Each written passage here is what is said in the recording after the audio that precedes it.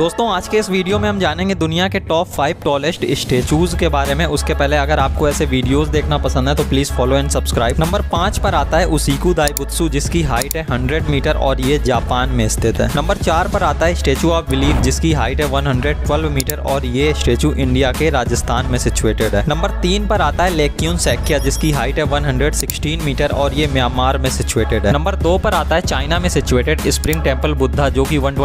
metre tall है number एक पर आता है tallest statue of the world statue of unity जिसकी हाइट है 182 मीटर और ये इंडिया के गुजरात में स्थित है